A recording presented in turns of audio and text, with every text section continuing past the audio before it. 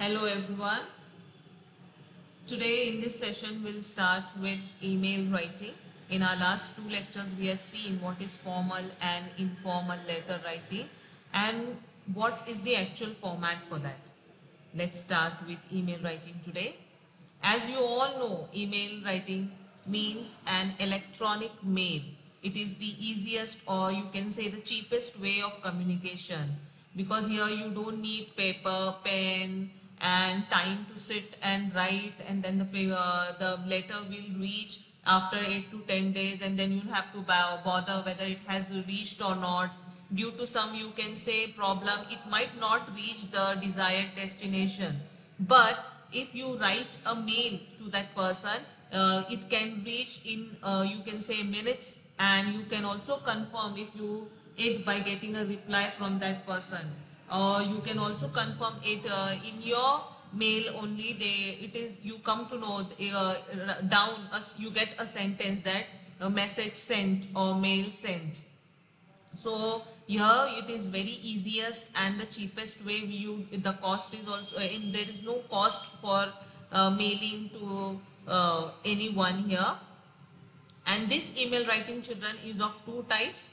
That is formal and informal here now, while writing formal or informal words, uh, informal mail, you have to keep in mind the language which you are using while writing the mail here. When you are writing informal mail, the language can be very friendly and casual language. But if you are writing a formal mail, it should be very professional, clear and formal. The choice of the word should be very correct there at that time. Now, informal mail can be to your parents, to your friends, your cousins, your relatives and all. And formal email can be uh, for business transactions to your, so you can say seniors, to uh, for any inquiry in any department uh, like electricity board, water supply system, or you can say telephone exchange system, any other places you can write for formal mail. Today we'll see the format.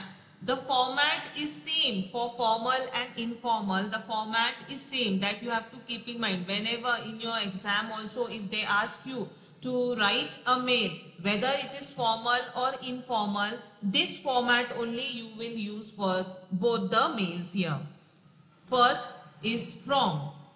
You first thing what you will do, you will draw a box like this then first line will be from that is your sender's email ID means the person who is sending who is writing the mail.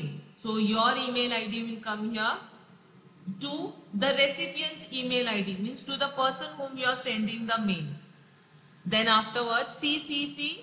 CC is other individuals receiving the same mail and BCC is other individual receiving the same uh, mail with invisible IDs. Here both this you will just write CC or and BCC and leave it blank. There is no need to write anything here. You can just put this two things here and uh, everything can be blank. But here email ID should be mentioned. That is very important here. After that is subject of your mail. Why are you writing? Whether it is formal or informal. You should mention the subject here. That is very important. Why the mail is written. Then the salutation if it is uh, in uh, you can say uh, informal so you can write dear my dear. If it is formal then you can uh, use uh, salutations like respected sir or dear sir can also go with that. If you're writing to your friend you can use hi hello and all. Then after that the main body of the uh, mail that is introduction. Why have you written the matter in detail and conclusion after that closing is the ending statement here. Com how we in the letter we write complementary close, same here closing. Then attachment if you want to attach any file with this mail you can uh, write here whatever you have attached list or invitation card something like that. After that signature line signature line here means what sender's name signature and other details. So here you have to keep in mind this format is for both the mails, formal and informal. for both the uh, mails you have to learn this particular format for writing it in your examination and same way you have to draw the box and write the subtitles like this and then write your mail. Today now we'll see the samples of both informal and formal email. First we'll see for informal email. Now here this is an invitation for brother's wedding you are going to invite your friend for your brother's wedding. So how will you write a mail to your friend? Nowadays we don't go to that person's house uh, in particular and give them personally. Now due to mail it has become very easy. We can just mail and attach the invitation card, printed invitation card with our mail to that person. Now see here, from the person who is sending the invitation, name is Sunil and the person who will receive the invitation to whom we are writing. His name is Suresh. I have taken this question from your textbook only. This is an uh, question which is given to you all in your informal letter writing. Now children, the questions which are given to you all in your informal and formal letter writing, same questions you can use for use to practice for email writing also. Informal email writing and formal email writing. The only the change here will be instead of writing uh, in informal letter instead of writing sender's address in informal letter and formal letter instead of writing sender's address here what you will write you will just write email id and this format you will use here. So sunil is writing to suresh what is the subject why he is writing the mail to his friend wedding invitation and salutation, here it is informal, so you will write this, Dear Suresh. And the main body of the letter, it's my pleasure to invite you with your family on the occasion of my brother Sahil's wedding on 23rd December 2020. I have attached printed invitation with this mail. Your presence with your family will really make this day more memorable to me and my family. I have invited all our other friends too Looking forward to have a good time with you all. The language will be friendly and informal you can say. Then continue here. It's gone on the ne next page. So the line is here. Otherwise in the same para you have to continue children. Kindly consider this as personal invitation. Then the venue you will write because day, uh, date you have already mentioned here. You will just mention the venue where the wedding will take place. Closing, yours lovingly, signature line, Sunil, because it is informal. So you just write the first name of the person. Attachment, you have mentioned in the mail that you are attaching the invitation card with uh, this. So here you will just write your wedding card. I hope you have understood. It is very easy children you don't have to uh, bother whether to write it on the right side or whether to write it on the left side. Nothing like that. Only keep the format in mind. Learn this format. Form 2, CC, BCC, subject, salutation, main body, closing, attachment and signature line. This is the format both for formal and informal. Same format you will use. For CC and BC you can just keep it blank. No need to worry about that. After that is the formal mail writing. Now this question is also from your text itself. See here, you are Tarun Khajuria, the sports captain of your college. Write a mail to the general manager of Ashoka Sports Center placing an order for the list of sports item and asking for a discount in the catalog price. Now, the, the names are given to you all. You have to just assume and write the mail ID here. So the person who is writing the mail is Tarun Khajuria. You will just write, assume Tarun Khajuria's mail ID and write. And to whom he is writing, he is writing to Ashoka Sports Center. So they also, all firms, they also have their email ID. So you will write to the Ashoka Sports Center here. You will keep CC and BCC blank then what are you writing this mail for? You are writing this mail to place an order. So just write the play to place an order. They very well know because it is an uh, sports center. So they know that you will uh, obviously order sports equipment only. So just write there to place an order. Salutation, respected sir or dear sir will go here. Then main body of the uh, letter, uh, mail here, sorry. Now here you can write my name is Tarun Khajuria, sports captain of Arham College, studying in the first year of commerce. As per the tradition of our college, this year too, our college has organized inter-sports competition, which is scheduled in the month of Jan. We would need some sports equipments for practice session as well as for the entire tournament. Our college will be representing in four events for boys they are track athletics, gymnastics, field athletics and Roman rings. Therefore, please supply the necessary equipments as stated in the list.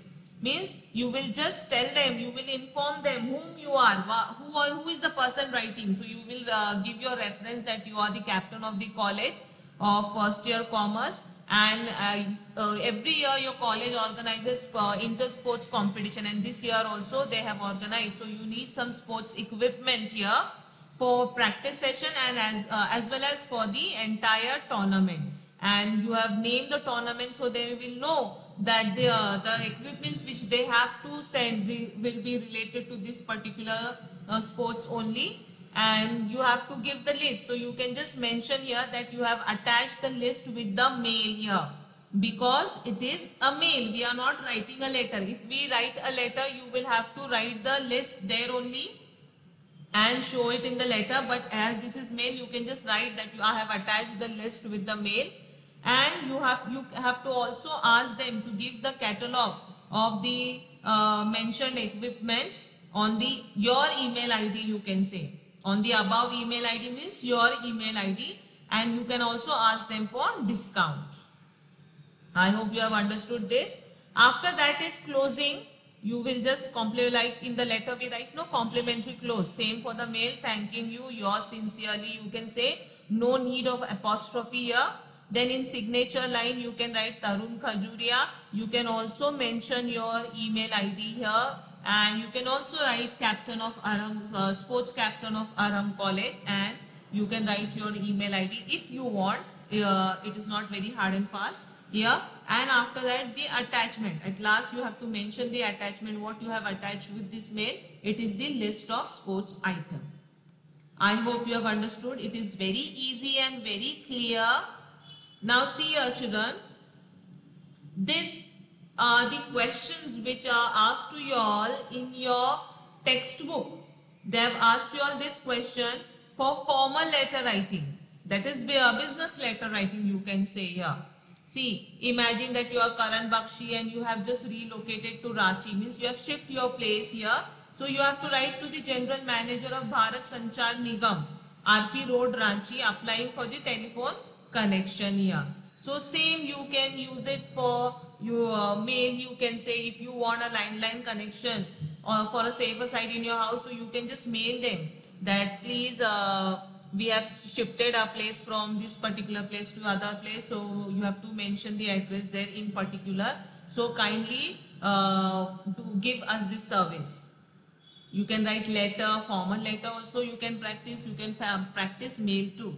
See this question i have done with you all now you are Tarun Khajuria, the sports captain of your college. Write a letter to Ashoka Sports Store, MG Road. They have mentioned the address. I have not mentioned address in my, uh, you can say, uh, word presentation because uh, it is, I, I was going to explain to you all how to write a mail. For that address is not required. But if you are writing a business letter, if you are writing a formal letter, for that if the letter is, uh, address is mentioned in the question, then you will have to write it.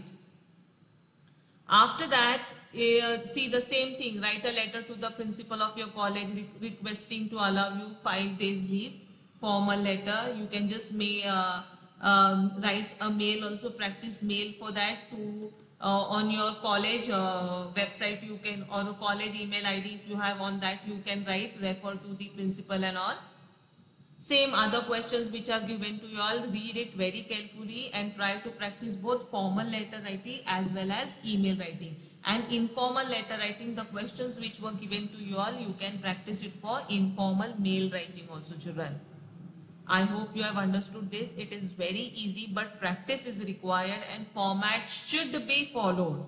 Examiner mainly pay attention whether students have followed the format or not if the format is not followed, they will directly give you a zero. So please see to it that you learn the format for every for all three letter writing types uh, like formal letter, informal letter and as well as for the mail writing also children. For the mail, email writing also same thing you have to for keep in mind that the format should be followed. It is very easy. You now you all send the assignments. You all uh, send any if you have any doubt you send the mail to the teachers and all. So you very well know how to write mail. But you have to write here you have to write it on the paper. So just kindly go through this particular format and follow the same. I hope you have understood.